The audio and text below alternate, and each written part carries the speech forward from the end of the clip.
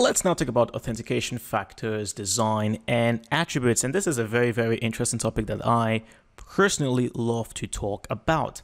Now, when it comes to the authentication factors, there are three main factors. It's either it is something that you know, something that you have, or it could be something that you are or that you do. Now, when it comes to the something you know authentication, this would include things like your passwords, uh, passphrases, or even pins. So the something you know authentication factor can also be referred to as the knowledge factor. It's also used for account reset mechanisms. Say for example, you're trying to reset your uh, the password for your email. Typically, the email server would ask you, okay, a security question that you've answered before. So there's something you know authentication is by far the most popular authentication method. Now, something you have. This is also referred to as the ownership factor. This means that you or the account holder will possess something that no one else does. It could be like a smart card, a hardware token, even your smartphone. Now, something that you are or that you do authentication, also known as the biometric factor, can use either physiological identifiers like your fingerprints or behavioral identifiers such as the way uh, someone walks or talks. Now, as I was recording this video, I got the idea to show you a clip from the movie Mission Impossible 5 Rogue Nation that came out back in 2015. Now, here's an example of the biometric factor in place. The system is trying to gauge whether or not this particular uh, gentleman walking is who he claims to be. He's actually wearing a mask. He's pretending to be somebody else. So he's walking through this particular uh, hall that has this scanners trying to gauge whether or not he's walking like the real person. And because the way he walks is actually different, the system was able to identify that this is a fraud. This is somebody pretending to be someone else. So if you want to watch the entire movie, you can check it out. It's actually a pretty good action movie, Mission Impossible uh, Rogue Nation. Alright, so as we just saw right now, the biometric factor would use either physiological identifiers like your fingerprints or behavioral identifiers such as the way somebody can walk or talk.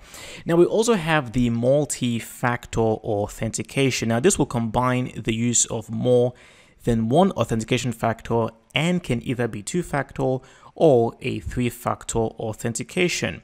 So multi-factor authentication would, would require a combination of different technologies or factors. For example, if you were to combine requiring a PIN along with a date of birth, this isn't multi-factor because even though it becomes a bit more difficult for a hacker to break through because now they need to know two different things, the factors in play here are still the knowledge factor.